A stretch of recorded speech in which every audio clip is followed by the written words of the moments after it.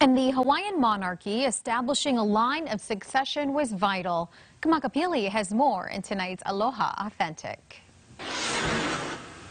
Around the islands, if you're driving, riding as a passenger, or just walking down the street, we all make use of our roadways. But when was the last time you paid attention to their given names? Our weekly Aloha Authentic segment, we highlight various streets across the state so we can dig into those names and in turn, learn something new about Hawaii. This week, we learn of who would have been Hawaii's sovereign.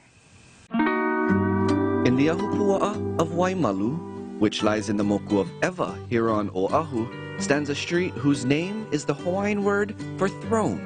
We're talking about Nohoali'i Street.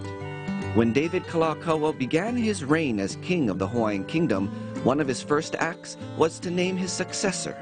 Two days after ascending the throne, King Kalakaua appointed his younger brother, William Pitt Leleiohoku, as heir apparent.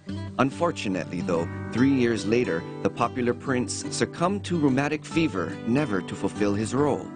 On the same day of his passing, Princess Liliuokalani, the king's sister, was named his new heir apparent.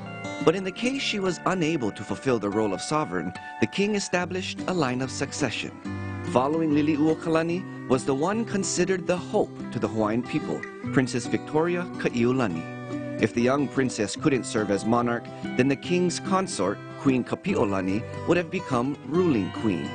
Next in line to the throne was the queen's sister, Princess Po'omaikelani. If she failed the role, then the Hawaiian kingdom would have gone to Prince David Kawananakoa, then to his brother Prince Jonah Kuhio.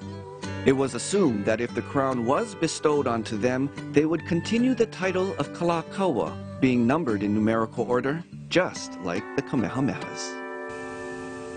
Did you know? Now you do.